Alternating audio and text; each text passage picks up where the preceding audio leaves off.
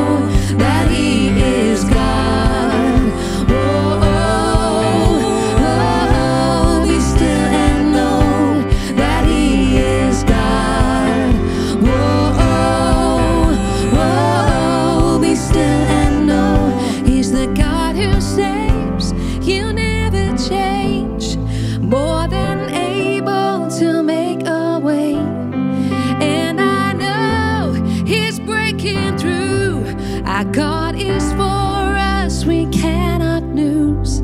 So be still and know.